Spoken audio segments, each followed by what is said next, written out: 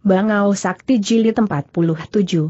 Sekonyong-konyong terdengar suara bum, seketika juga terang benderang di tempat itu, bahkan dinding ruang bawah tanah itu pun bergerak B.E. Kunbu memandang keluar, ternyata di luar sana merupakan sebuah ruangan.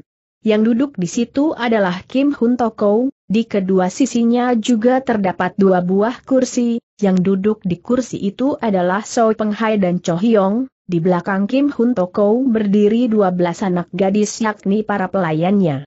B.E. Kunbu memapah Gintai Suseng menuju ruang itu, kemudian dinding ruang bawah tanah pun tertutup kembali. Saudara B.E. Chohyong menatapnya sambil tersenyum-senyum. Apa kabar? Aku sungguh rindu padamu. Hektometer dengus B.E. Kunbu, lalu memandang Kim Hun Toko sambil tersenyum Lam Kiong Siu, Mana obat penawar racun itu? Cepat berikan.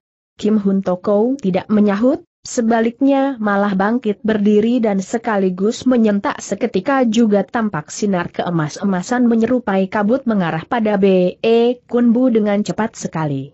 B.E. Kunbu sedang memapah gintai suseng, maka tidak bisa bergerak cepat untuk berkelit akan tetapi, kabut yang bersinar keemas-emasan itu justru meluncur ke dalam mulut Kim Eng Hao. Lam Kiong Siu. Engkau. B.E. Kunbu potong Kim Hun Toko dingin, aku telah menyentil obat penawar racun ke dalam mulut Kim Eng Hao, racun yang mengidap di dalam tubuhnya akan segera punah, akan tetapi dalam waktu setahun, dia tidak boleh mengerahkan luekangnya, kalau dia berani mencoba mengerahkan luekangnya, semua urat nadinya akan putus dan dia pun akan mati, oleh karena itu, engkau harus baik-baik merawatnya. B.E. Kunbu peraya apa yang diucapkan Kim Hun Toko, maka ia pun mengambil keputusan untuk mengantar Gintai Suseng pulang ke Tai Pasan kalau begitu, ujar Chohyong pada Kim Hun Toko sambil mengerutkan kening, Toko ingin melepaskan mereka berdua? Tadi engkau bilang, kalau aku menghendaki kitab Kui Goan Pitchek, tidak boleh melepaskannya, itu apa maksudmu tanya Kim Hun Toko dingin. Haha Chohyong tertawa, kitab-kitab Kui Goan Pit Cek itu, kini berada di tangan dua orang gadis yang dikuat Chong San, yaitu Nasyao Tiap dan Pek Yun Hui. Tiada seorang pun mampu menandingi kepandaian kedua gadis itu. Oh, yair muka Kim Hun Toko tampak berubah. Cho Hyong memang licik, ia sengaja memanasi hati Kim Hun Toko, Tujuannya adalah meminjam tangan Kim Hun Toko untuk membunuh orang. Itu memang benar. Kalau begitu, kenapa Kim Hun Toko menatapnya tajam? Cho Hyong mengarah pada B.E. Kunbu, setelah itu ia pun tersenyum-senyum. Namun ketika Cho Hyong mau membuka mulut B.E. Kunbu sudah membentak. Kalian berdua telah diberi kesempatan untuk bertobat di Toan Hun ya, namun kalian bukannya bertobat, kini malah menimbulkan berbagai urusan, kelihatannya kalian memang ingin cari mati. Wajah Song Hai langsung berubah, kemudian mengangkat sebelah tangannya, kelihatannya ia ingin menyerang B.E. Kunbu dengan ilmu kan Goan Cihnya. Guru tidak perlu turun tangan, cegah Chohyong serius. Seusai aku bicara dengan Kim Hun Toko, B.E. Kunbu pasti dilepaskannya. NG Soi Penghai menurunkan tangannya. Kedua gadis di Kuat Chong San, ujar Chohyong pada Kim Hun Toko dan melanjutkan, sama-sama telah jatuh hati pada pemuda itu.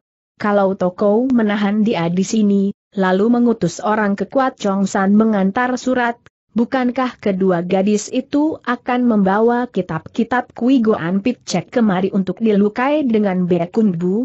Betapa gusarnya Be Kunbu, Sebab Chohyong menggunakan akal busuk itu untuk memaksa Na Xiao Tiap dan Pek Yun Hui menyerahkan Kui Goan Pit Cek pada Kim Hun Toko. Walau gusar, namun B.E. Kunbu berlega dalam hati, rupanya mereka masih tidak tahu Pek Yun Hui sudah berada di Taisan ini itu berarti Pek Yun Hui tidak mengalami sesuatu yang di luar dugaan, tapi kenapa dia kehilangan jejak? B.E. Kunbu tidak mengerti. Bab ke-25 Penyerangan Mendadak Sementara Kim Hun Toko diam saja, Cho Hyong menatapnya dan yakin Kim Hun Toko tertarik akan usulnya itu, maka ia pun segera berkata lagi.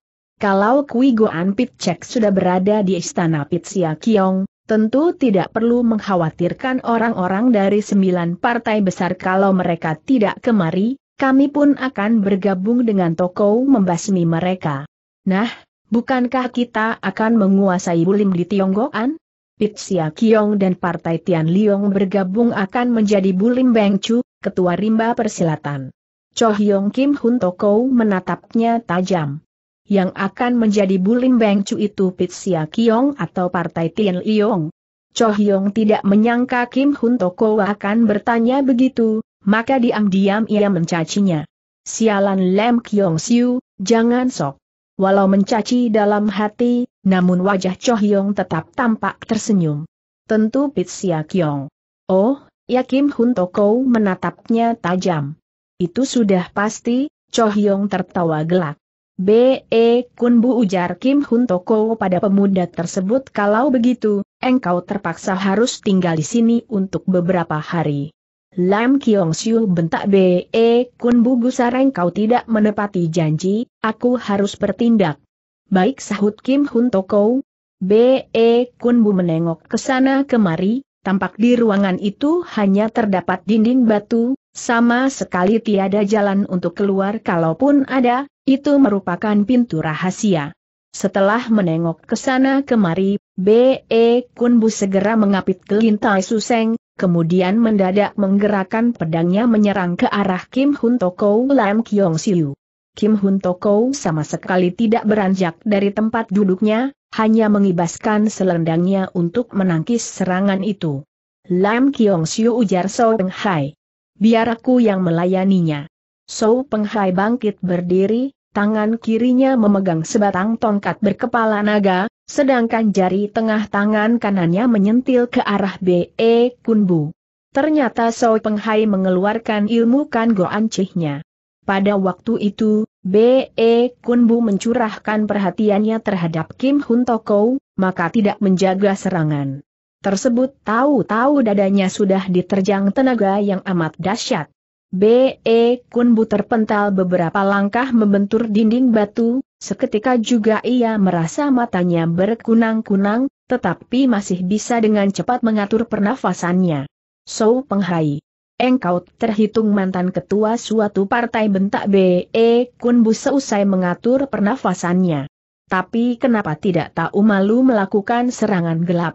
So Penghai tampak terkejut, karena dada B.E. Kunbu telah terpukul oleh ilmu kan goancihnya, bahkan juga telah terpental, namun kenapa dia sama sekali tidak terluka. So Penghai tidak habis berpikir justru So Penghai tidak tahu, kalau B.E. Kunbu memakai kulit ular yang tahan bacok di dadanya, otomatis mengurangi tenaga pukulan kan goancih tersebut, oleh karena itu, B.E. Kunbu dapat bertahan dari sisa tenaga itu. Kalau ia tidak memakai kulit ular tersebut, saat ini pasti telah terluka parah. Hebat, hebat. Kepandaian saudara B.E. sungguh hebat, aku sangat kagum, sehingga tertarik untuk minta pelajaran beberapa jurus seru Chohyong dan langsung mencabut pedang gelang emasnya, kemudian menyerang B.E. Kunbu dengan jurus berantai, yakni Haisah Pinlu, menerobos ke dalam laut, Yue Pan Hang Yen, asap di tengah malam, dan Tian Kang Lo Chieh, burung beterbangan.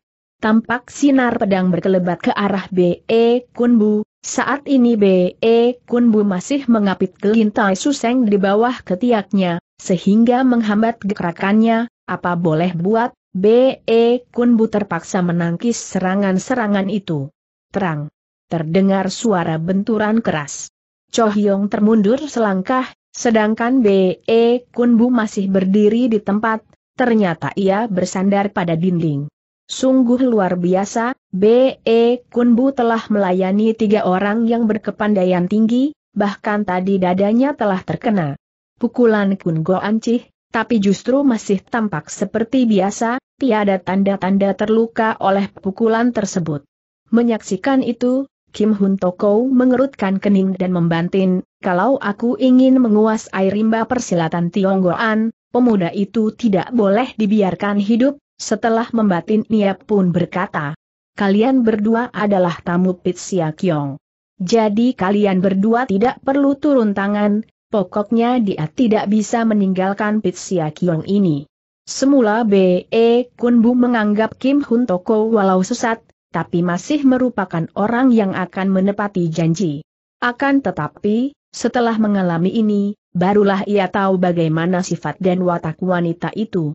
Lam Kiong Siu bentaknya gusar kalau aku berada di sini, engkau pun tidak bisa tenang. Mendadak B.E. Kunbu menyerang Kim Hun Tuko, ia mengeluarkan jurus Kuho Acun Ih, bungaku di musim semi, tampak pedangnya memancarkan sinar yang bergemerlapan. B.E. Kunbu Hardi Kim Hun Toko, engkau ingin cari mati. Kim Hun Toko segera mengibaskan selendangnya. Kibasan itu tidak bisa dianggap remeh, sebab itu adalah jurus Pit Yun Chian Chang, gumpalan awan merintang. Selendang itu tampak bagaikan ombak menyerang Beci Kunbu. Sungguh aneh dan penuh mengandung tenaga lunak. B.E. Kunbu kurang berhati-hati, sehingga nyaris terserang oleh selendang itu. Betapa terkejutnya Beci Kunbu, ia segera menghimpun tenaga dalamnya, dan sekaligus disalurkan pada pedangnya, ketika ia baru mau melancarkan serangan, tiba-tiba lonceng kecil yang bergantung di ruang itu berbunyi. Ting teng ting teng. Begitu mendengar suara lonceng kecil itu berbunyi, air muka Kim Hun Toko tampak berubah. So Penghai.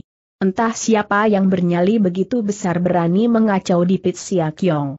So Penghai dan Cho Hyong memandang Kim Hun Toko, lalu menjura, setelah itu Cho Hyong pun berkata pada B.E. Kunbu sambil tersenyum. Saudara B.E., nanti aku akan kemari menengokmu usai berkata begitu, ia mundur ke dinding bersama So Penghai. Entah dengan cara bagaimana mereka membuka dinding itu, Tahu-tahu dinding itu sudah terbuka dan mereka berdua pun segera masuk. Kemudian dinding itu langsung tertutup kembali. Ketika mendengar Kim Hun Toko mengatakan bahwa ada orang mengacau di Pitsia Kiong, B.E. Kun Bu girang sekali dan yakin orang itu pasti Pek Yun Hui. Kalau tidak, bagaimana mungkin para anak buah Kim Hun Toko melapor padanya dengan cara yang seunik itu, yakni membunyikan lonceng kecil yang bergantung di ruang itu. HHBE Kunbu tertawa. Engkau kira Pitsia Kiongmu ini dibuat dari tembok baja, maka tiada seorang pun mampu menerjang kemari? Buktinya sudah ada orang mengacau di sini. Hektometer dengus Kim Hun Toko, engkau jangan salah duga, pendatang itu memang sudah memasuki lembah, namun tidak gampang bagi dia memasuki istana Pitsia Kiong ini. Maukah engkau lihat siapa pendatang itu? Bagaimana Carol melihatnya? Tanya B.E. Kunbu dan merasa heran. Tentunya punya Carol istimewa, sahut Kim Hun Toko bangga, engkau kira orang Tionggoan mampu membangun istana seperti ini? Kim Hun Toko menarik ke atas gordin di belakangnya, tampak sebuah kaca besar di situ, Sungguh aneh kaca itu karena dipasang semacam pipa yang amat panjang, entah tembus ke mana pipa itu, Kim Hun Toko memandang kaca itu, seketika wajahnya berubah bengis. Ternyata wanita jalang itu.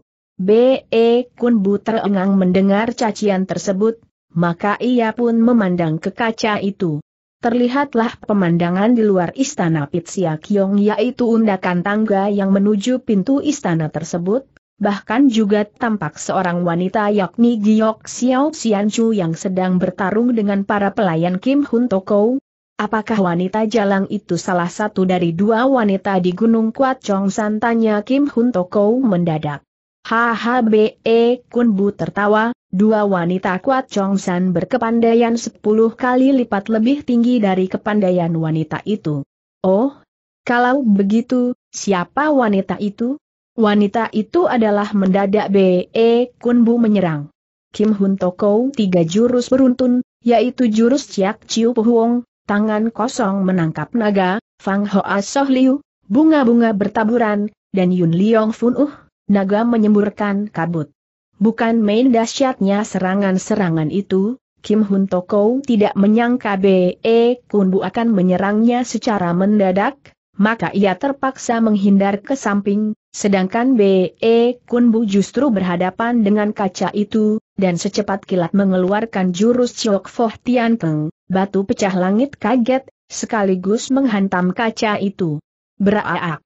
Kaca itu pecah berantakan. Engkau berani merusak kaca itu bentak Kim Hun Toko dengan wajah kehijau-hijauan saking gusarnya. B.E. Kunbu tidak menyahut, melainkan langsung menggetarkan pedangnya, tampak sinar berkelebatan mengarah pada Kim Hun Toko dari tiga jurusan, itu adalah gerakan Chun Yun Chiat Ken, awan berkembang. Kim Hun Toko memutarkan badannya laksana kilat, sambil menggetarkan selendangnya untuk menangkis serangan B.E. Kun kemudian melesat ke samping. Ketika melihat Kim Hun Toko melesat ke samping, B.E. Kun yakin dugaannya tidak meleset, yakni Kim Hun Tokowi ingin pergi melihat keadaan di luar Pit Sia Kyong. Karena itu, B.E. Kunbu pun mengikutinya, pada waktu bersamaan, dinding di tempat itu terbuka, dan Kim Hun Toko langsung masuk ke dalam rese ketika juga B.E. Kunbu mengerahkan ginkangnya melesat ke arah dinding itu dan berhasil masuk. Kim Hun Toko terus melesat ke depan ia tahu B.E. Kunbu mengikutinya, maka tanpa membalikan badannya maupun menoeh, ia langsung menyerang ke belakang mengeluarkan jurus pit lang chong chong, ONV bak terus menderu. Selendang yang digunakannya bergerak bagaikan ombak, dan penuh bertenaga mengarah pada tangan B.E. Kunbu. Perlu diketahui, saat ini B.E. Kunbu masih tetap mengepit gelintai suseng di bawah ketiaknya, kalau tidak mengapit gelintai suseng di bawah ketiaknya, tentunya dengan gampang ia dapat menghindari serangan itu. Jalan satu-satunya harus meloncat ke belakang, itu berarti ia akan kembali ke ruangan tadi, dan tiada kesempatan lagi baginya untuk keluar. Tiba-tiba B.E. Kunbu menyalurkan lewekangnya ke tangan kanannya yang menggenggam pedang, dilemparkannya pedang itu ke arah punggung Kim Hun Tuko, dan seketika terdengarlah suara yang menderu-deru. Setelah pedang itu meluncur, tangannya pun memukul ke depan dengan jurus Hui Pacong Cheng, gembreng terbang menubruk lonceng, yakni salah satu jurus dari ilmu capek Klohon Chiang, delapan jurus pukulan Aryat, ilmu andalan Go Hong Taisu, dapat dibayangkan, betapa dahsyatnya ilmu pukulan itu. Benar. Pukulan itu dapat menangkis serangan selendang tersebut, Sedangkan pedang yang meluncur laksana kilat itu dapat dihindari Kim Hun Toko, ternyata wanita itu menggunakan jurus Ching Yun Toh Toh, awan bergumpal-gumpal. Setelah menghindari pedang itu, Kim Hun Toko menatap B.E. Kunbu dengan mata berapi-api. Baiklah. Mari kita bertarung di sini silakan maju tantang B.E. Kunbu. Ketika Kim Hun Toko baru mau menyerang B.E. Kunbu, Tiba-tiba terdengar suara lelaki di luar, suara itu parau tapi sangat menusuk telinga. Wanita siluman Pitsia Kiong, kenapa tidak keluar menyambut tamu? Begitu mendengar suara itu, Kim Hun Toko tampak lersentak, sedangkan B.E. Kunbu cuma terengang sebab tadi B.E. Kunbu melihat Giok Xiao Xianju dan kaca, tiada orang lain, tapi kenapa malah ada suara lelaki yang begitu parau? Apakah masih ada orang lain yang datang di Pit Kyong ini? Berdasarkan suara itu, dapat diketahui betapa tingginya luekang orang tersebut, tapi Bek E Kun Bu sama sekali tidak mengenali suara itu. Mendadak Kim Hun Toko melesat ke depan, diikuti oleh B E Kun Bu. Berselang beberapa saat kemudian, sekonyong-konyong tampak terang di tempat itu, ternyata pintu rahasia terbuka. Kim Hun Toko segera mengerahkan ginkangnya melesat keluar, tapi sambil memukul ke belakang, tujuannya menghalangi B.E. Kunbu keluar tentunya B.E. Kunbu tahu. Ketika Kim Hun Toko melesat keluar dengan ginkang, ia sudah menduga akan hal tersebut, oleh karena itu, ia pun memukul ke depan. Kim Hun Toko memang cerdik, ia menggunakan tenaga pukulan B.E. Kunbu agar dirinya melesat lebih cepat, Sedangkan B.E. Kunbu malah tertahan di dalam, sedangkan pintu rahasia itu pun mulai tutup.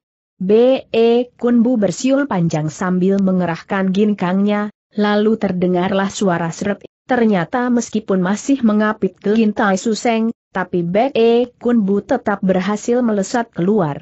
Akan tetapi, ujung bajunya justru terjepit oleh pintu rahasia yang sudah tertutup itu. Bert, sobeklah ujung baju B.E. Kunbu. Ternyata kini ia telah berada di ruangan yang amal besar tampak Kim Hun Toko duduk di kursi batu pualam, tampak pula dua belas pelayannya sedang bertempur melawan Giok Xiao Xianchu, di sebelah kiri, terlihat Cap Kong dengan wajah beringas sedang bertarung dengan seorang Huo tua. Tampak aneh Shio itu, karena kepalanya yang gundul licin itu agak menonjol ke atas, muka merah dan hidungnya mancung, namun sepasang matanya bersinar tajam, dan dapat diketahui juga bahwa dia bukan orang Tionggoan. Berhenti bentak Kim Hun Toko mendadak. Dua belas pelayannya langsung meloncat mundur, begitu pula Cap Kou, Shio tua dan Giok Xiao Xian Chu. Eh Giok Xiao Xianchu baru melihat B.E. Kunbu. Adik B.E., ternyata benar engkau berada di sini. Kakak sahut B.E. Kunbu. Apa kabar? Di saat mereka berdua sedang tutur sapa, di saat itu pula terdengar suara bentakan keras, Hwasyo tua yang bersenjata martil tembaga langsung menyerang B.E. Kunbu dengan gerakan Heng Sao Chian Kun, menyapu ribuan prajurit. B.E. Kunbu sama sekali tidak menduga akan serangan itu, ia tidak pernah bertemu dan tidak kenal Hwel Shio itu, tapi kenapa ada menyerang B.E. Kunbu secara begitu mendadak? Memang sudah tiada kesempatan bagi B.E. Kunbu untuk menangkis, tetapi pada waktu bersamaan, terdengar pula suara bentakan Giok Xiao Xianchu. Keledai Gundui. Sudah gilakah kau? Sementara B.E. Kun walau gugup, tapi ia masih mempunyai sedikit waktu untuk mengerahkan Gerou Heng Mi Chong Pu seketika ia lolos dari serangan, sedangkan martil tembaga itu menyapu tempat kosong. Belum juga kaki B.E. Kun Bu menginjak lantai, Hwal Shio itu sudah menyerang lagi dengan ganas. B.E. Kun Bu terpaksa mengerahkan ginkangnya meloncat mundur beberapa depa, betapa gusarnya B.E. Kun Bu, ia segera menyerahkan Gintik Suseng pada Giok Xiao Xianchu seraya berkata, Kakak, dia teman baikku, tolong jaga dia sebentar setelah menyerahkan Gintai Suseng pada Giok Xiao. Xianchu, B.E. Kunbu memutarkan badannya, sambil memukul ke arah pinggang Huo Shio tua itu. Namun sebelah tangannya justru mengarah pada Tian Sing Hiat di lengan kiri Huo Shio tua tersebut. Itu adalah jurus Tian Cheh Te Jui, langit getar bumi gerak, salah satu jurus dari Kui Goan Picek, yang hebat dan amat aneh gerakannya, dengan kehuakan Huo Shio tua. Itu berkelit, akhirnya meloncat mundur, kemudian menatap B.E. Kunbu dalam-dalam seraya bertanya lantang. Siapakah kau? Kenapa engkau bilang muridku adalah teman baikmu? Begitu mendengar pertanyaan Huo Shio tua itu, B.E. Kunbu sudah tahu siapa dia, ternyata adalah Kuang Titaisu dari kuil Ceh Yongsi di Gunung Tai Pasan Kuang Titaisu memang berkepandaian tinggi, namun orangnya amat kasar dan boleh dikatakan Huo Shio Sinting. Sudah lama aku kenal murid Taisu, kami adalah teman baik, jawab B.E. Kunbu sambil tersenyum. Kalau begitu, bukan engkau yang melukai muridku ujar Kuang Titai Suparau, aku keliru mempersalahkanmu. Jangan berkata begitu B.E. Kunbu tersenyum lagi, dia yakin Huo Shio itu adalah orang baik, karena berani mengaku salah di hadapan orang banyak. Adik B.E. selagi Xiao Xianchu. Huo Shio keparat itu telah menyerangmu dua kali, maka jangan begitu gampang memaafkannya. Kakak. Taisu itu sangat mencemaskan muridnya, karena aku mengepit muridnya itu, maka ia mengira aku yang melukai murid kesayangannya, kita jangan mempersalahkannya, sahut B.E. Kunbu. Hahaha Kuang Titaisu tertawa gelak, bagus. Aku Shio tua bersedia jadi temanmu. B.E. Kunbu nyaris tertawa geli, karena Kuang Titaisu belum tahu namanya, namun sudah bersedia jadi temannya, Bukankah itu sangat menggelikan? Guru ujar Gintai Suseng lemah. Saudara B.E. berbudi luhur dan solidar terhadap teman. kalau bukan demi murid, dia sudah meninggalkan Pitsia Kiong ini. Anak kau, apakah Lam Kiong Siu yang melukaimu? Tanya Kuang Titaisu mendadak. Tidak salah, sahut Kim Hun Toko yang duduk di kursi batu pualam. Engkau memang wanita iblis bentak Kuang Titaisu, lalu menyerang Kim Hun Toko dengan martil tembaganya, menggunakan jurus Teteng Tong Nam, bumi roboh ke timur selatan. Betapa dahsyatnya serangan itu, sebab penuh mengandung tenaga, akan tetapi, Kim Hun Toko cepat-cepat menggerakkan selendangnya, tampak selendang itu melayang bergelombang-gelombang penuh mengandung tenaga lunak ke arah senjata Kuang Titaisu, lalu melilit senjata tersebut. Kuang Titaisu membentak keras menarik senjatanya. Perlu diketahui Kuang Titaisu berasal dari India, Sejak kecil sudah jadi Hoeshio, namun sifat dan wataknya begitu kasar, maka diusir oleh Gurunfa. Sejak itu ia mulai berkelana dan entah sudah berapa banyak kuil yang ia masuki, tapi tidak pernah bisa bertahan lama sebab selalu diusir lantaran silat dan wataknya yang kasar itu. Akhirnya ia memasuki perbatasan Han, Cina, dan tanpa sengaja menemukan kuil Ceh Yongsi yang sudah tua.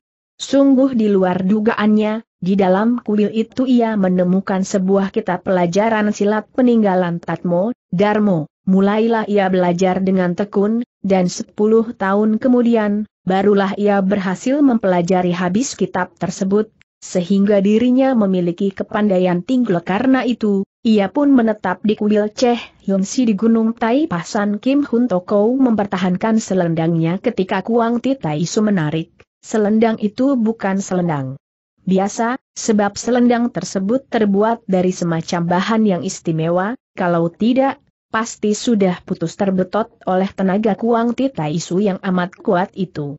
Kurang ajar bentak Kuang Titaisu, aku sudah kemari, tapi engkau masih duduk diam di tempati ayo, cepat bangun. Kuang Titaisu membetot lagi sekuat tenaga, tapi Kim Hun Toko tetap mempertahankan selendangnya, oleh karena itu, Terjadilah adu luekang, Kuang Titaisu memiliki luekang keras, sedangkan Kim Hun Toko memiliki luekang lunak, dua macam luekang itu memang berlawanan. Biar bagaimanapun Kim Hun Toko adalah wanita, maka lama-kelamaan ia mulai merasa nafasnya sesak, walau demikian, ia tetap mempertahankan selendang dan posisi duduknya. Tiba-tiba Kuang Titaisu membentak keras sambil menambah tenaganya, selendang yang lembut itu pun berubah keras, akhirnya Kim Hun Toko terangkat ke atas dari tempat duduknya. Hahaha Kuang Titaisu tertawa gelak. Akan tetapi, pada waktu bersamaan Kim Hun Toko pun bersalto ke arah Kuang Titaisu, bahkan sekaligus menyerangnya. Ketika melihat Kim Hun Toko sudah terangkat ke atas, Kuang Titaisu sudah merasa puas, ia orang kasar dan polos, sama sekali tidak punya akal busuk, karena itu, ia tidak menyangka kalau Kim Hun Toko akan menyerangnya begitu mendadak. Lagi pula Kim Hun Toko menyerangnya dengan pitsau ciang, pukulan beracun, tampak kebuakan Kuang Titaisu berkelit mendadak Kuang Titaisu menyambitkan senjatanya ke arah Kim Hun Toko, agar dia tidak melancarkan serangan Iagi. Benar. Sebab Kim Hun Toko terpaksa meloncat ke samping menghindari senjata aneh itu. Blam! Senjata itu menghantam dinding, dan seketika itu juga dinding itu hancur. Sedangkan Kuang Titaisu dapat menyelamatkan diri, akan tetapi mendadak selendang itu melayang ke arahnya lagi. Betapa gusarnya Kuang Titaisu, ia membentak keras sambil melancarkan sebuah pukulan. Kim Hun Toko berkelit dan tampak gusar bukan main, ia pun tidak habis berpikir, bagaimana Karagiok Xiao Xianchu dan Kuang Titaisu memasuki Pit Sia Kiong. Tiba-tiba Kim Hun Toko bersiul panjang, yang membuat Kuang Titaisu omo. Lam Kiong Siu, perumah engkau pergunakan akal busuk, itu tiada gunanya bentaknya mengguntur. Sebelum suara siulan Kim Hun Toko hilang, mendadak ruangan itu berubah gelap, tentunya membuat Kuang Ti Taisu terengang. Hati-hati Taisu seru B.E. Kunbu memperingatkannya. Rahib wanita itu sangat licik. Sementara ruangan itu bertambah gelap, sedangkan Kim Hun Toko sudah tidak kelihatan lagi, Itu membuat Kuang Titaisu berseru-seru. Hei, wanita jalang, mau menggunakan akal busuk apa lagi? Walau Kuang Titaisu berseru berulang kali, namun tetap tiada sahutan, B.E. Kunbu segera mendekatinya, lalu berkata serius. Taisu. Kita harus berdiri dengan punggung menghadap punggung, hati-hati menghadapi segala kemungkinan. Betul, Kuang Titaisu mengangguk. Giok Xiao Xianchu juga menghampiri mereka, kemudian ia menyerahkan Gintai Suseng pada Kuang Titaisu. Keledai gundul jaga muridmu ini ujarnya. Dasar wanita sialan caci Kuang Titaisu sambil menerima Gintai Suseng, sedangkan Giok Xiao Xianchu cuma tertawa. Julukannya adalah Gintai Suseng, tentunya mahir menggunakan suling perak kan. Setelah keluar dari sini, aku harus minta pelajarannya, ujar Giok Xiao Xianchu sungguh-sungguh. Haha Kuang Titaisu tertawa gelak, muridku adalah Gintai Suseng, engkau adalah Giok Xiao Xianchu. Wah! kalian berdua memang merupakan pasangan yang cocok. Fui Giok Xiao Xianchu meludah. Engkau adalah seorang Huoshio, kok boleh berkata begitu? Haha Kuang Titaisu tertawa terbahak-bahak. Yang penting di dalam hatiku terdapat Buddha, maka aku tidak mau berpura-pura jadi Huoshio yang cuma tampak suci. Karena itu, aku mau kata apa langsung mencetuskannya, bahkan juga tidak pantang makanan. Padahal saat ini sedang menghadapi bahaya, tapi Kuang Titaisu masih terus bergurau, itu membuat kening B.E. Kunbu berkerut. Sudahlah Taisu ujar B.E. Kunbu. Jangan terus bergurau, kita masih dalam bahaya. Justru itu harus bergurau, agar tidak terlampau tegang, sahut Kuang Titaisu dan tertawa lagi. Kakak B.E. Kunbu mengarah pada Giok Xiao Xianchu. Di dalam Pitsia Kiong ini banyak terdapat jebakan-jebakan yang sulit diduga, lagi pula Kim Hun Toko sangat licik, ditambah Soi Penghai dan Cho Hyong, maka kita tidak boleh bertindak ceroboh.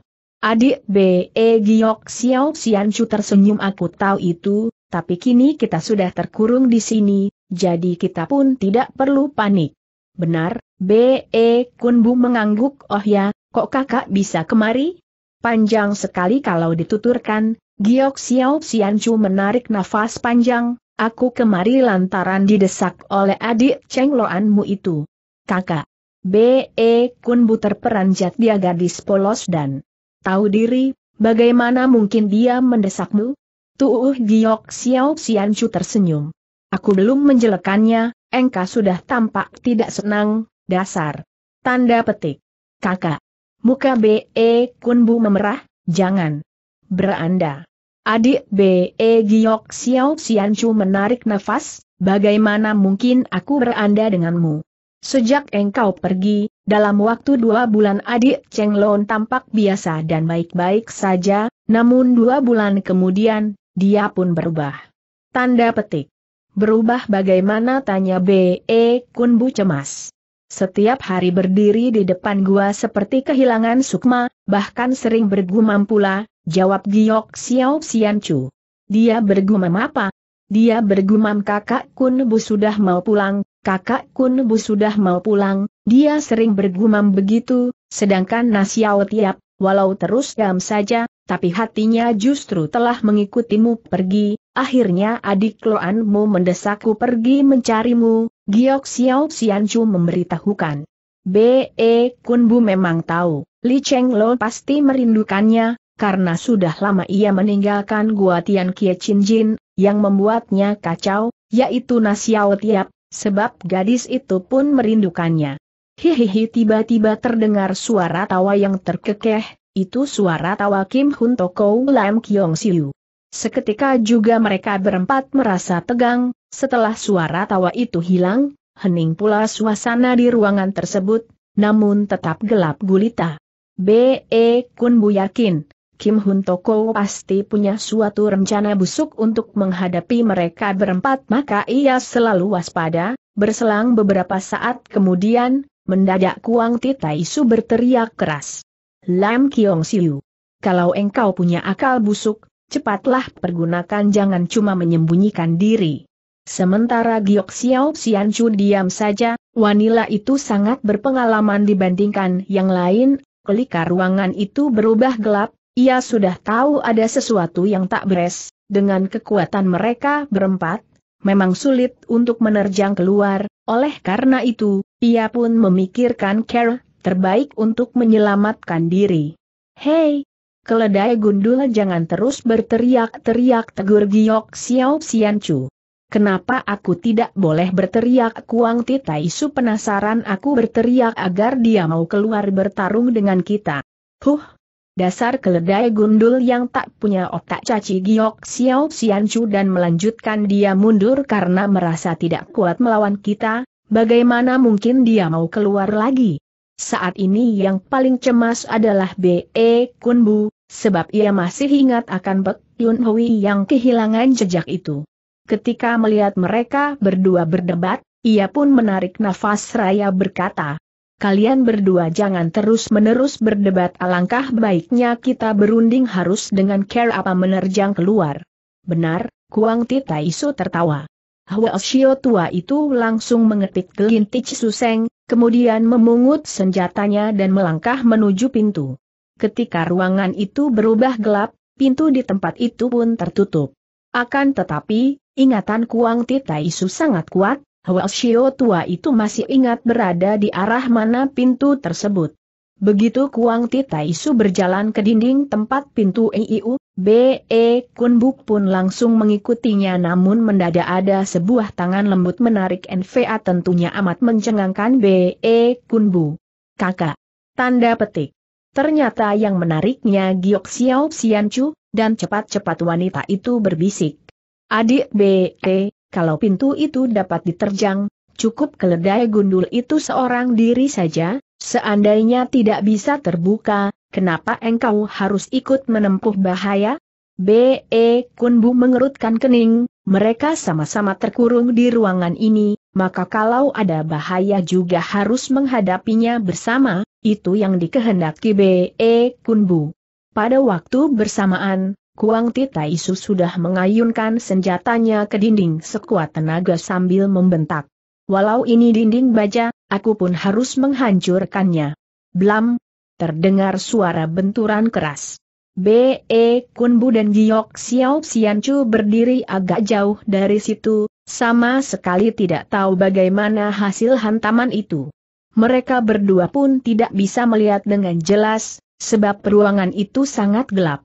Tak lama kemudian suara benturan itu sirna, tetapi tidak terdengar suara Kuang Titaisu, tersentaklah hati B.E. Kunbu dan ia pun langsung bertanya. Taisu berada di mana? Taisu. Tanda petik. Tiada sahutan, maka B.E. Kunbu jadi cemas sekali, lalu bertanya pada Giok Xiao Xianchu. Kak, apa yang terjadi atas diri Taisu itu adik B.E. Jawab Giok Xiao Xianchu tenang. Kelihatannya keledai gundul itu memang telah terjadi sesuatu, sebab banyak jebakan di dalam pil Kiong ini. Tapi, bukankah Taisu dan Gintaisu Seng belum meninggalkan ruangan ini? B.E. Kunbu ingin melangkah ke dinding itu, tapi Giok Xiao Xianchu segera menarik lengannya, bahkan kemudian memeluknya, sehingga amat mengejutkan B.E. Kunbu. Eh, kakak kenapa? Hai hai Giok Xiao Xianchu tertawa, adik B.E., engkau masih muda dan tampan sekali. Entah berapa banyak anak gadis yang jatuh hati padamu sedangkan aku tidak mendapat tempat di dalam hatimu, tapi bisa mati bersamamu, itu sungguh menggembirakan.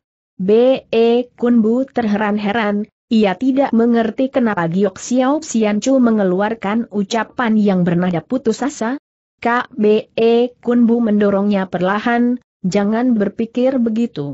Setelah mengetahui Kuang Titaisu dan muridnya hilang begitu saja, maka Giok Xiao Xianchu pun yakin mereka berdua tidak akan bisa meninggalkan Pitsia Kiong ini. Oleh karena itu ia pun tertawa ringan. Adik B.E., aku memang harus gembira, sahutnya. B.E. Kunbu tidak tahu harus bagaimana, sebab ia tahu bagaimana perasaan Giok Xiao Xianchu terhadapnya itu membuatnya dam saja. Adik B. E, ujar Giok Xiao Xiancu lembut apakah engkau masih ingat ketika kita ke cabang partai Tian Liong, di tengah jalan kita terjebak di dalam telaga lumpur sehingga nyawa kita nyaris melayang. Engkau masih ingat tentang itu? Lengat, B. E. Kunbu mengangguk pada waktu itu, kakaklah yang menolong diriku. Adik B. E. Giok Xiao Xiancu menarik nafas panjang. Kali ini kakak tidak bisa menolong dirimu lagi, B.E. Kunbu diam saja. Adik B.E. kakak bisa mati bersamamu, itu sungguh menggembirakan hatiku, kalau engkau tidak percaya, aku akan meniupkan sebuah lagu untukmu, dengar. Bagaimana mungkin B.E. Kunbu saat ini akan menikmati suara suling Giok Xiao Xiancu? Sebelum ia menyahut, Giok Xiao Xiancu sudah mulai meniup sulingnya. Mula-mula suara suling itu memang bernada gembira, namun berselang sesaat, berubah sedih memilukan hati. Tanpa sadar air mata B.E. Kunbu pun berinang-linang, lama sekali barulah ia berkata. Sudahlah kak, jangan kau tiup lagi suling itu. Giok Xiao Xiancu berhenti lalu menarik nafas panjang dan berkata perlahan-lahan. Adik B.E., kalau engkau menyuruhku meniupi agi, aku pun sudah tidak sanggup lagi. Suara Giok Xiao Xiancu agak serak. B.E. Kun Bu tahu bahwa saat ini hati Giok Xiao Xiancu amat berduka. Kak, kita tidak bisa diam saja, ujar B.E. Kun Bu. Kita harus memikirkan jalan keluarnya. Adik B.E. sahut Giok Xiao Xiancu. Diamlah kau di sini, aku akan coba menerjang. Kak B.E. Kun Bu tertawa, Hingga saat ini kakak masih tidak tahu bagaimana perlakuanku terhadap orang? Aku tahu, namun tidak menghendakimu ikut menempuh bahaya, sahut Giok Xiao Xiancu.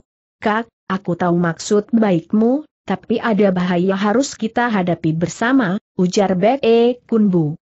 Giok Xiao Xiancu diam saja, tapi mendadak ia melesat pergi, Betapa terkejutnya B.E. Kunbu, ia cepat-cepat menyambar tangan Giok Xiao Xiancu, namun tak berhasil.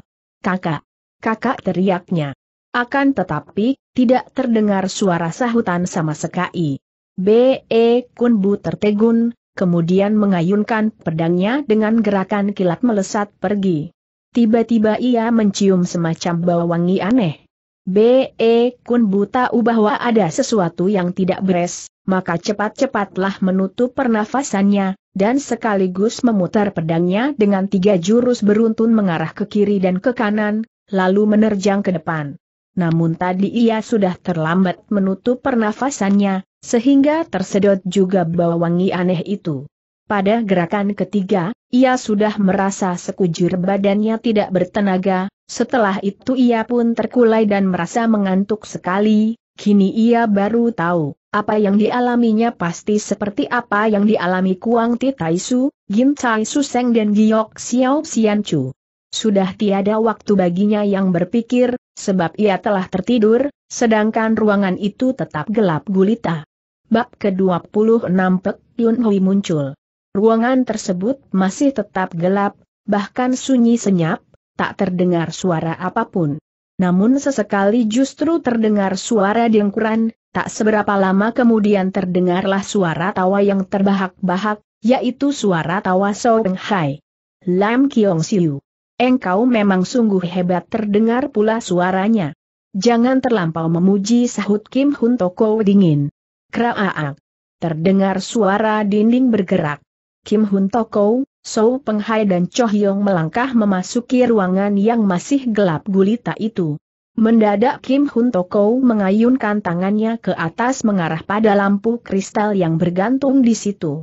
Seketika juga lampu tersebut menyala, membuat ruangan itu jadi terang benderang, tampak empat orang tergeletak di lantai mereka adalah Kuang Ti Taisu, Gin Tai Su Seng, Giok Xiao Xianchu dan B. E. Kunbu.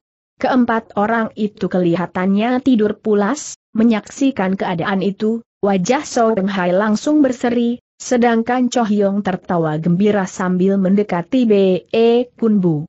Saudara B.E., engkau dalam tidur menuju ke alam baka, aku sungguh merasa iri padamu, Ujar Chohyong sambil menghunus pedangnya, lalu menusuk tenggorokan B.E. Kunbu. Saat ini, B.E. Kunbu sama sekali tidak bisa bergerak dan dalam keadaan tak sadar, bagaimana mungkin berkelit? Ketika Chohyong menusuk, berarti nyawa B.E. Kunbu berada di ujung tanduk, namun mendadak Chohyong malah tertawa gelak sambil menghentikan pedangnya. Saudara B.E., engkau begitu tampan, pantas banyak anak gadis tergila-gila padamu. Haha. Aku menghendaki adik loanmu tahu kalau engkau akan berubah jadi apa. Cho Hyong menggerakkan pedangnya, tampak pedang itu membentuk belasan bulatan mengarah pada wajah B.E. Kunbu. Itu adalah jurus Lian Hoan Kiu Xiao, sembilan kunei beruntun, kalau wajah B.E. Kunbu terkena serangan tersebut, tentu tidak akan menyerupai wajah manusia lagi. So Penghai mengerutkan kening menyaksikan tindakan murid kesayangannya itu, ia memang sangat membenci B.E. Kunbu, maka tidak mencegah perbuatan Cho Hyong. Berhenti, Cho Hyong bentak Kim Hun Toko dingin. Cho Hyong tertegun mendengar suara bentakan itu, lalu menghentikan pedangnya. Mereka berdua guru dan murid mengunjungi Gunung Taisan, Altai, tidak lain bertujuan meminjam tangan Kim Hun Toko untuk membasmi sembilan partai besar di Tionggoan, berikut orang-orang di Kuat Chong Sanoyeh karena itu, mereka masih tidak berani melakukan suatu kesalahan terhadap Kim Hun Toko. Nanti engkau akan tahu rasa ujar Chohyong dalam hati. Akan tetapi, wajahnya justru berseri ia membalikan badannya seraya berkata pada Kim Hun Toko, Apakah Toko khawatir semuanya akan berduka menyaksikannya maka menyuruhku jangan merusak wajahnya? Engkau cukup berhenti sahut Kim Hun Toko dingin, tidak perlu banyak bertanya. Betapa gusarnya Cho Hyong, tapi wajahnya justru bertambah berseri menawan hati, ketika ia baru mau membuka mulut, So Penghai telah mendahuluinya, sebab ia tahu apabila muridnya terus berdebat dengan Kim Hun Toko, pasti akan menimbulkan hal-hal yang tak enak. Anak Hyong jangan banyak bicara toko sudah punya rencana, janganlah engkau merusak, encan-encunya ujar So Peng Hai. Ya, guru, jawab Cho Hyong sambil senyum, lalu mundur ke sisi So Peng Hai sedangkan Kim Hun Toko sudah duduk di kursi batu pualam. Mereka berempat sudah terkena Kiu Tian Hiang, semacam obat tidur, ujar Kim Hun Toko memberitahukan, Tiga jam kemudian, mereka berempat akan sadar maka sebelumnya mereka harus dikurung di ruang rahasia, lalu tiupkan Cien Mesan, racun pelemah tubuh, ke dalam hidung mereka, jadi kalaupun sadar, mereka tetap tidak bisa bergerak sama sekali. Oh oh oh so penghai manggut-manggut. Kim Hun Toko bertepuk tangan tiga kali, dan tak lama tampaklah delapan anak gadis memunculkan diri. Gotong mereka ke ruang rahasia perintah Kim Hun Toko. Ya, sahut delapan gadis itu serentak. Ketika mereka baru mau menggotong keempat orang itu, mendadak muncul dua gadis dengan sikap gugup. Kiong Chu lapor kedua gadis itu, di luar ada seseorang ingin bertemu Kiong Chu. Kim Hun Toko mengibaskan tangannya, delapan gadis itu langsung pergi, setelah delapan gadis itu pergi, barulah Kiong Chu itu bertanya. Siapa orang itu? Dia. Ketika dua gadis itu baru mau menjawab. Mendadak berkelebat sosok bayangan memasuki ruangan itu. Cepatnya laksana kilat, sehingga tidak bisa dilihat jelas, setelah sosok bayangan itu melesat ke dalam, tampak pula dua buah benda meluncur secepat kilat ke arah Kim Hun Toko, Saking cepatnya membual Kim Hun Toko tidak bisa melihat benda apa itu, karena benda itu mengarah padanya, maka tanpa berpikir lagi ia langsung melancarkan sebuah pukulan pada kedua benda yang meluncur datang itu. Ah ah ah ah, terdengar suara jeritan yang memilukan. Ternyata jeritan dua orang lelaki, penjaga di terowongan rahasia, Kedua penjaga itu telah mati dengan tubuh tidak utuh terkena pukulan Kim Hun Toko. Seketika juga So Peng Hai dan Cho Hyong tahu bahwa tempat itu telah kedatangan musuh yang tangguh. Cho Hyong segera mengibaskan tangannya, tampak tiga buah gelang emas meluncur ke arah bayangan itu. Terang, terang, terang. terdengar suara benturan, tiga buah gelang emas itu terpental jatuh. Sambut seranganku bentak Soi Penghai sambil menyerang ke arah bayangan itu dengan tongkat berkepala naga, yang dikeluarkannya adalah jurusan pengteliak, gunung runtuh bumi retak. Saat ini, pendatang itu telah berada di sisi Becik Kunbu yang menggeletak di tantai, tampak sinar pedang berkelebat menangkis serangan Soi Penghai, dan seketika juga terdengar suara senjata beradu, Sou Penghai dan pendatang itu masing-masing mundur selangkah. Tersentak hati Sou Penghai, karena orang itu mampu menyambut serangannya yang sangat dahsyat. Sou Penghai segera menegasi orang itu, ternyata seorang gadis cantik jelita, namun wajahnya penuh diliputi kegusaran siapa gadis itu? Tidak lain adalah Pek Yun Hui. Setelah termundur selangkah Pek Yun Hui pun mengeluarkan suara siulan panjang. Sebelum suara siulannya hilang, sudah tampak sosok bayangan yang amat besar meluncur ke dalam. Bukan main cepatnya, bahkan sekaligus mencengkeram B.E. Kunbu dan Giok Xiao Xian Chu, kemudian meluncur keluar lagi secepat kilat. Pada waktu bersamaan, Pek Yun Hui juga membentak ringan sambil menggerakkan pedangnya, tampak sinar pedang berkelebatan mengelilingi badannya, lalu mendadak meluncur pergi. Gampang datang sulit pergi bentak Kim Hun Toko. Seketika juga muncul delapan gadis menghadang di pinlu tangan mereka memegang sebatang besi kosong. Ketika delapan gadis itu muncul Pek Yun Hui sudah melesat sampai di pintu, terdengarlah dua kali jeritan, tampak dua gadis terkulai bermandikan darah. Yang mencengkeram B.E. Kunbu dan Giok Xiao Xian Chu adalah Hian Giok, si Bangau Sakti, Hian Giok mengibaskan sepasang sayapnya, Seketika juga dua gadis terpental Hian Giok lalu meluncur pergi, begitu pula Pek Yun Hui. Dalam waktu sekejap, mereka sudah meninggalkan Pit Sia Kiong. Kim Hun Toko bangkit berdiri, tapi kemudian kembali duduk sambil tertawa, dipandangnya Soi Penghai seraya bertanya. Gadis yang barusan datang itu adalah salah satu wanita dari Gunung Kwak Chong San. Betul, Sou Penghai mengangguk dia adalah Pek Yun Hui. Pek Yun Hui datang dan pergi secara mendadak, bahkan juga berhasil membawa pergi B.E. Kunbu dan Giok Xiao Xian Chu, sekaligus melukai beberapa pelayan Kim Hun Toko, ilu pertanda dia berkepandaian tinggi selalu. Oh oh Kim Hun Toko manggut-manggut. Ternyata dia Pek Yun Hui. Sementara Cho Hyong pergi memungut tiga buah gelang emasnya, Kim Hun Toko menatapnya seraya berkata, apa yang pernah kau katakan, memang benar sekali, maksud Toko tanya Cho Hyong sambil tersenyum. Hihi Kim Hun Toko tertawa terkekeh Pek Yun Hui memang berkepandaian amat tinggi, namun dia tidak berakal panjang, tidak sampai tiga hari, dia pasti membawa B.E. Kunbu kemari. Oh Soi Penghai terengang, kenapa bisa begitu itu karenanya aku membiarkan dia pergi, tapi nanti dia ke. Mari lagi, dia akan tahu kelihayan Pitsia Kiong ini, sahut Kim. Hun Toko? Kenapa Toko mengatakan Bek Yun Hui akan membawa B.E. Kunbu kemari tiga hari kemudian tanya Cho Hyong mendadak. Apakah orang luar bisa tahu kelihayan Pitsia Kiong sahut Kim Hun Toko seakan tidak mau memberitahukan secara terus terang. So Penghai dan Cho Hyong saling memandang, namun sama sekali tidak mengeluarkan suara. Kiu Tian Hiang, obat tidur, itu dibikin dari sembilan jenis racun.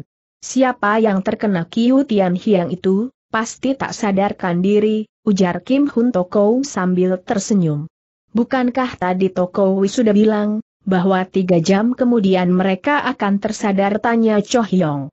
Tidak salah, tiga jam kemudian mereka akan tersadar, jawab Kim Hun Toko menjelaskan akan tetapi, sepasang kaki mereka tetap tidak bisa bergerak, kecuali makan obat penawar racun dariku. Oh oh Soi Penghai tampak gembira sekali. Kalau begitu, Pek Yun Hui pasti akan kemari minta obat tersebut kan? Kalau tidak, B.E. Kun Bu pasti lumpuh seumur hidup, sahut Kim Hun Toko sambil tersenyum, bagus seru Cho Hyong sambil tertawa girang, Kim Hun Toko bertepuk tangan tiga kali, lalu muncullah beberapa anak gadis. Kim Hun Toko segera perintahkan mereka menggotong Kuang Titaisu dan Gintaisu Seng ke ruang rahasia. Pek Yun Hui dan Bangau Sakti telah berada di sebuah lembah. Begitu Pek Yun Hui bersiul, Hian Giok segera berhenti terbang dan turun ke bawah, setelah itu, dengan hati-hati sekali menaruh B.E. Kunbu dan Giok Xiao Xianchu ke bawah. Tak seberapa lama kemudian, muncullah seorang gadis dengan langkah sempoyongan, dan wajahnya tampak pucat pias. Nona Pek. Gadis itu menggenggam tangan Pek Yun. Hui rat-rat. Akhirnya Kunbu tertolong juga. Tapi, dia-dia. Sudah terkena racun Kiu Tian Hiang. Tanda petik. Xiao Yun, akan bagaimana setelah terkena racun itu tanya Pek Yun Hui. Ternyata gadis itu Xiao Yun. Dia yang menunjukkan jalan untuk menolong Gintai Suseng yang terkuiung di ruang bawah Iana. Gadis itu tahu bahwa Kim Hun Toko pasti membunuhnya, maka ia menelan racun, akan tetapi, betapa terkejutnya Xiao Yun ketika tahu Be Kun Bu sudah tertangkap dan akan ditukar dengan kitab Kui Goan Pit Cek milik dua wanita di Kuat Chong San Xiao Yun sudah tahu Pek Yun Hui berada di Taisan, maka timbullah niatnya mencarinya untuk menolong B.E. Kunbu. Akan tetapi, Taisan sedemikian luas, gadis itu harus mencari ke mana? Namun demi keselamatan B.E. Kunbu, Xiao Yun pun bertekad mencari Pek Yun Hui. Oleh karena itu, ia segera meninggalkan Pitsia Kiong, sebab kebetulan Kim Hun Toko menyuruhnya pergi mengurusi sesuatu, maka ia memanfaatkan kesempatan tersebut untuk mencari Pak Yun Hul. Ia pun tahu bahwa nyawanya cuma tinggal tiga jam. Kalau dalam waktu tiga jam tidak menemukan Pak Yun Hui, ia pasti mati dan B.E. Kun Bu pun tidak dapat diselamatkan. Akhirnya ia sampai di sebuah lembah, Tampak seorang gadis berbaju putih duduk di atas batu sambil melamun begitu melihat gadis itu, Xiao Yun bersorak kegirangan dalam hati, karena ia yakin bahwa gadis baju putih itu adalah Pek Yun Hui. Nona serunya sambil menghampiri gadis berbaju putih itu, apakah Nona Marga Pek? Gadis berbaju putih itu menoleh. Tampak air matanya meleleh membasahi pipinya yang putih mulus. Apakah kakak adalah Pek Yun Hui tanya Xiao Yun. Betu, gadis berbaju putih itu mengangguk aku adalah Pek Yun Hui. Syukurlah kakak adalah Pek Yun Hui Xiao Yun langsung menggenggam tangannya era lerat, kakak Pek. B. E. Xiao Hiap terjebak di dalam pit Sia Kiong, kakak harus segera pergi menolongnya. Engkau bilang apa? Engkau bilang siapa tanya Pek Yun Hui cepat. B.E. Xiao Hiap adalah B.E. Kunbu, dia terjebak di dalam pit Sia Kiong, aku bernama Xiao Yun. Kakak Pek, cepatlah pergi menolongnya. Dari sini menuju ke utara, setelah melewati jalan kecil yang penuh batu tajam kakak Pek pasti sudah sampai. Pek Yun Hui tidak banyak bertanya lagi, ia langsung bersiul panjang, dan seketika juga terdengar pekikan yang amat keras, yaitu suara pekikan Hian Giok. Ternyata Pek Yun Hui menunggang Hian Giok itu menuju ke Pit Sia Kiong, setelah itu ia pun berhasil menolong B.E. Kun Bu dan Giok Xiao Xian Chu. Kini Xiao Yun mengatakan bahwa B.E. Kun Bu terkena racun Kiu Tian Hiang, maka cemaslah hati Pek Yun Hui. Xiao Yun Pek Yun Hui memegangnya, karena Xiao Yun hampir terkulai. Tiga jam kemudian, B.E. Xiao Hiap, akan sadar tapi. Tanda petik. Mendadak kepala Xiao Yun terkulai gadis yang penuh cinta kasih murni itu telah mati, namun wajahnya tampak berseri mungkin ia sangat girang di saat terakhir masih dapat melihat B.E. Kunbu. Pek Yun Hui memandang mayat Xiao Yun dengan mata basah, Xiao Yun cuma bilang tiga jam kemudian B.E. Kunbu akan sadar, tapi tidak keburu memberitahukan tentang yang lain, maka Pek Yun Huitit, I mengetahuinya. Kemalian Xiao Yun juga sangat mengherankan Pek Yun Hui, kenapa gadis itu mati mendadak? Ternyata Pek Yun Hui sama sekali tidak tahu bahwa Xiao Yun telah menelan racun.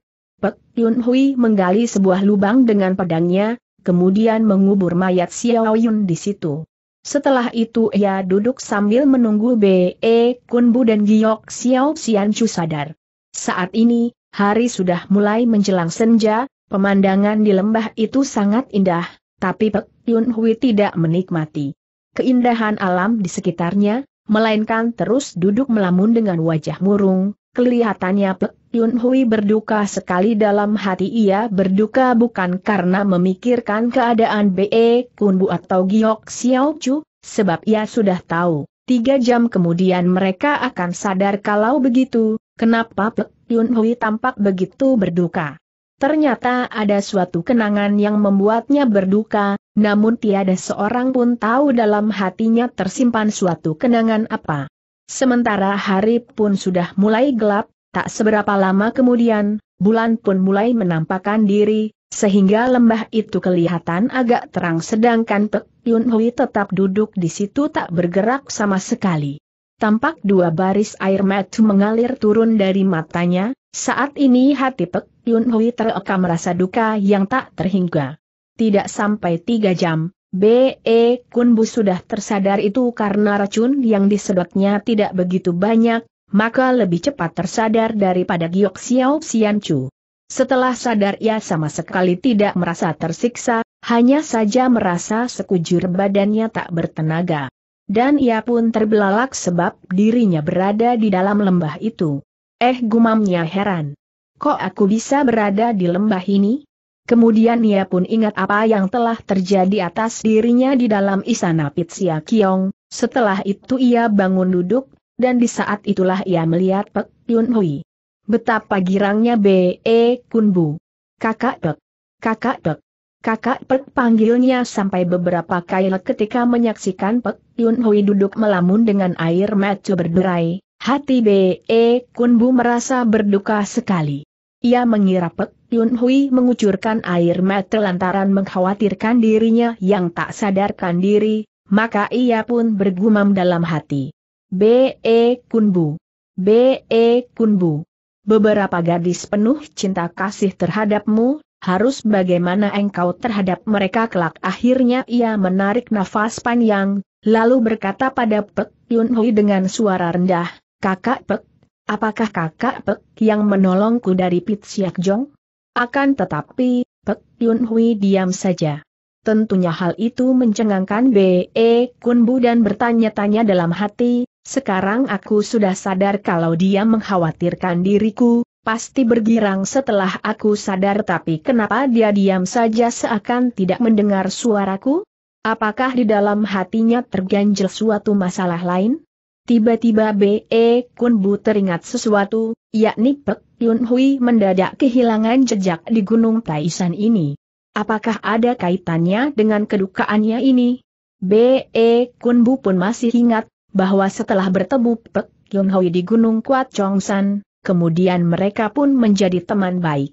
Namun Pek Yun Hui begitu misterius ia cuma tahu bahwa Pek Yun Hui adalah lantai Kongcu, putri kaisar yang dibawa pergi oleh Nahai Peng dari istana ke Kuat Chongsan setelah Pek Yun Hui berada di Kuat Chongsan dan apa yang terjadi, B.E. Kun Bu sama sekali tidak tahu.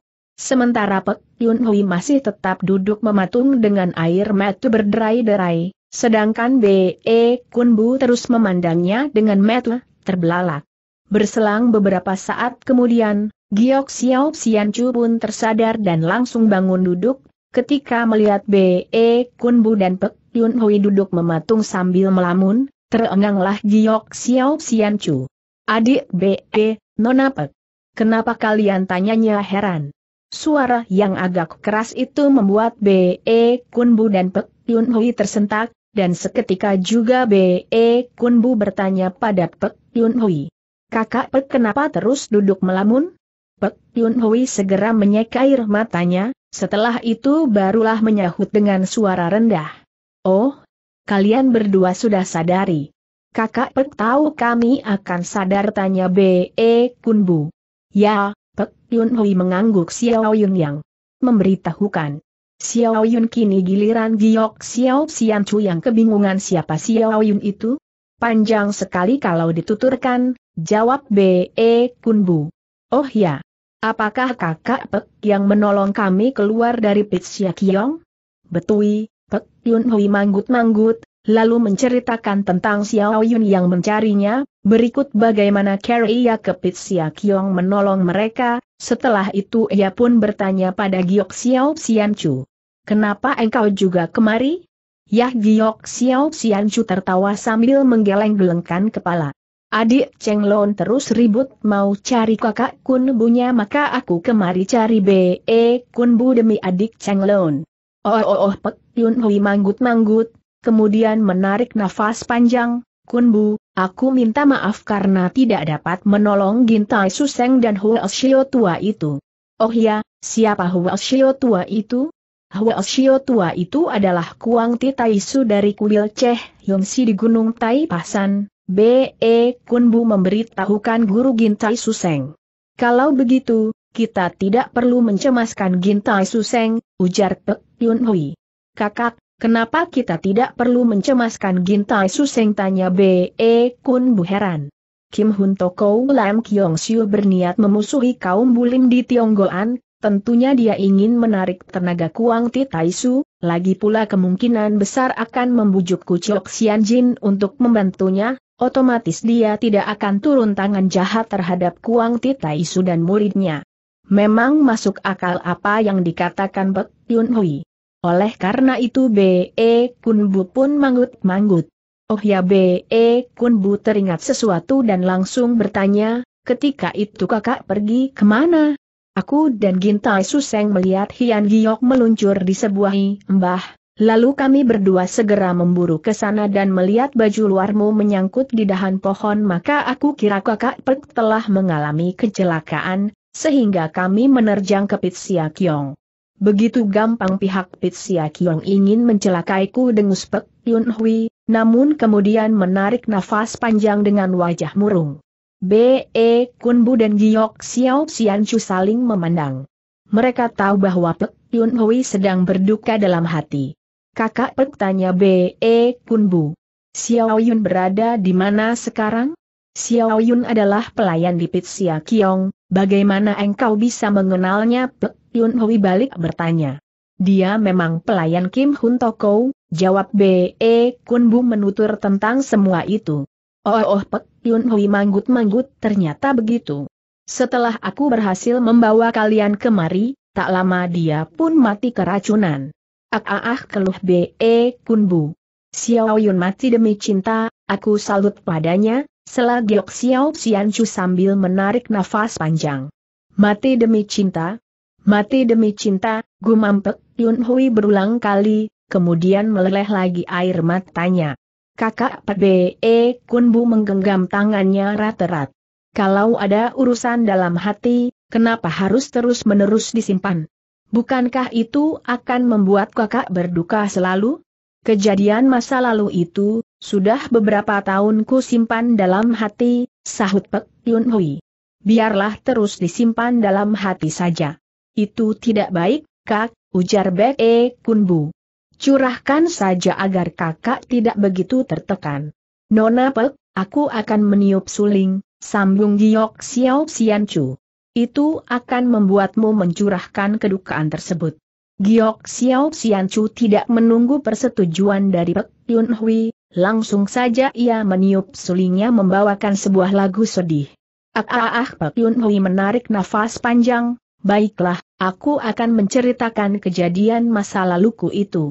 Bab ke-27 Kejadian Masa Lalu Pek Yun Hui Dua tahun sebelum bertemu B.E. Kunbu, Pek Yun Hui masih merupakan gadis remaja berusia 16-an ia ikut Nahai Peng tinggal di Gua Tian Kie Chin Jin di Gunung Kuat Chong San mempelajari ilmu silat yang ada di dalam kitab Kui Goan Pip Cek. Gadis itu pun melewati hari-hari yang penuh ketenangan. Pek Yun Hui dibesarkan dalam istana dan tubuh pun sangat lemah. Begitu keluar dari istana, ia amat tertarik akan dunia luar, maka tidak heran kalau gadis itu senang bermain, sehingga agak menghambat kemajuan ilmu silatnya. Nah Hai Peng memang gurunya, namun juga budaknya, maka tidak heran kalau hubungan mereka guru dan murid agak luar biasa, Nah Hai Peng sangat menurut pada Pek Yun Hui, bahkan ia pun tahu bahwa tubuh Pek Yun Hui sangat lemah, tapi memiliki kecerdasan yang luar biasa. Oleh karena itu, Nahai Peng mengambil keputusan untuk menggembleng gadis itu, namun tidak begitu memaksanya untuk melatih diri.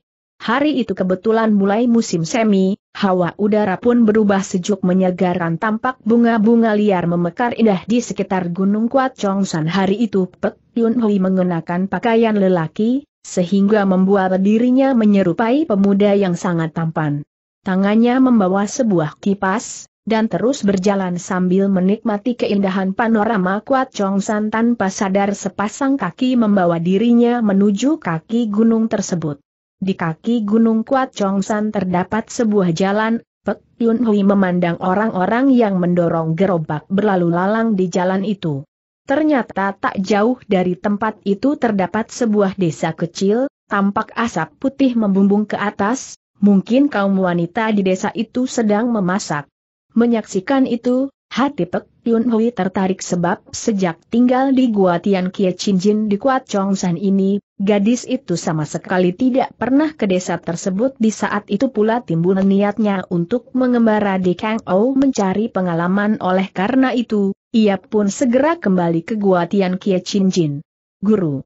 Guru panggil Pek Yun Hui begitu sampai di dalam gua, dan sekaligus mendekap di dada Nah Ai Peng, Guru.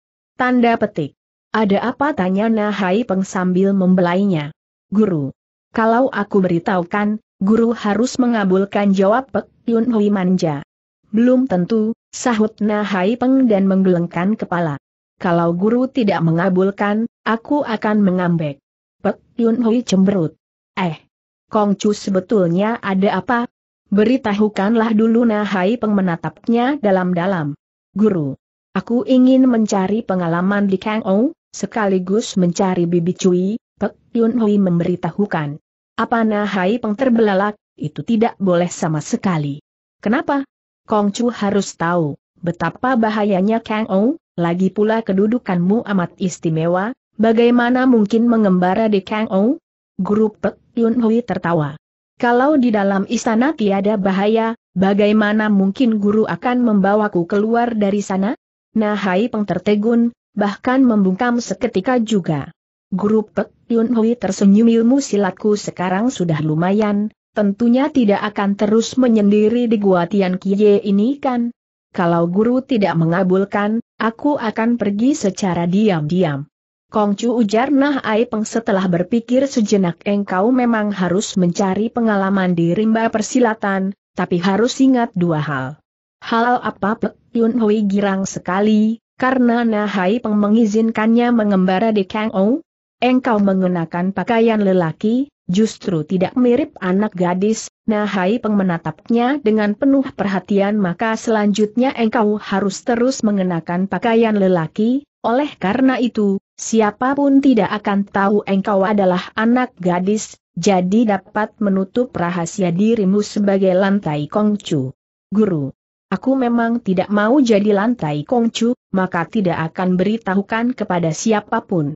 Hal kedua yakni menyangkut ilmu silatmu, ujar Nah Ai Peng serius, walau belum mencapai pada tingkat tertinggi, tapi jurus-jurusnya amat aneh, karena itu, janganlah engkau membocorkan sumber ilmu silatmu dan tidak boleh menyebut namaku juga.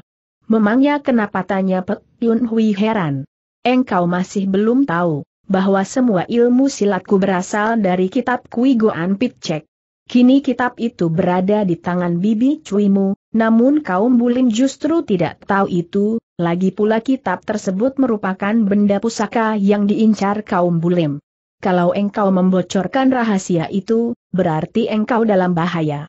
Wah Pek Yun Hui melelotkan lidahnya begitu luar biasa, pokoknya aku tidak akan membocorkan rahasia tersebut walau engkau berjanji begitu, aku tetap tidak bisa berlega hati, ujar Nah Ai Peng. Guru, aku tidak akan menimbulkan masalah di rimba persilatan. Setahun atau setengah tahun, aku pasti pulang. Kalau begitu, Nah Hai Peng menarik nafas dalam-dalam. Baiklah, aku mengabulkannya. Terima kasih, Guru Pratyun Hui berjingkrakan saking gembiranya, aku akan berangkat esok. Boleh, Nahai Peng mengangguk dan berpesan, tapi engkau tidak boleh bertarung dengan siapa pun. Ya, Pek Fun Hui mengangguk. Pek Yun Hui telah meninggalkan Gua Tian Kie Chin Jin, ia berdiri di pinggir jalan sambil menengok ke sana kemari, karena tidak tahu harus menuju ke mana. Akhirnya ia mengambil arah utara. Tak seberapa lama kemudian, ia melihat tiga buah gerobak ekspedisi beberapa orang berteriak-teriak, tampak dua orang piau husu, pengawal barang ekspedisi, berjalan di belakang gerobak-gerobak itu. Setelah mereka lewat, Pek Yun Hui mengambil keputusan untuk mengikuti di belakang mereka. Berselang beberapa saat kemudian, mendadak kedua Piao Su itu menoleh ke belakang memandang Pek Yun Hui, lalu berbisik-bisik. Pek Yun Hui baru memasuki rimba persilatan, tentunya tidak mengerti apa-apa. Ketika kedua Piao Su itu memandangnya, gadis itu tersipu mengira kedua Piao Su itu sudah tahu akan penyamarannya sebagai pemuda. Karena itu, ia pun memperlambat langkahnya, dan berpaling ke arah lain berpura-pura menikmati keindahan alam. Ia sama sekali tidak menyadari, bahwa itu justru menimbulkan kecurigaan kedua piausu tersebut salah seorang piausu itu melotot, lalu mengeluarkan sebuah panji kecil. Panji kecil tersebut bersulam seekor naga emas. Piausu itu menancapkan panji tersebut ke atas gerobak, agar Pek Yun Hui tahu bahwa mereka dari ekspedisi Tian Liong. Pemimpin ekspedisi Tian Liong adalah Soi Peng Hai dijuluki Hai Tianitsu ia mendirikan ekspedisi tersebut dengan tujuan tertentu, yakni mengumpulkan para pesilat bulim yang tiada partai agar bergabung, setelah memiliki kekuatan, maka akan bertarung dengan sembilan partai besar.